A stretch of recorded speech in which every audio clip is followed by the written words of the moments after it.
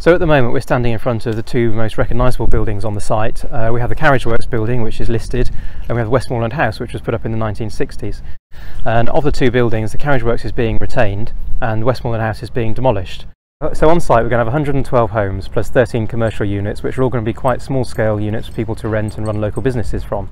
For almost 40 years the site has been uh, vacant and for the last 30 years it's been derelict uh, and the buildings have been completely unusable. So we anticipate that the demolition is going to be finished at the end of this year. Uh, following that we'll be starting main construction works either late this year or beginning of next and they're going to take about two years to complete.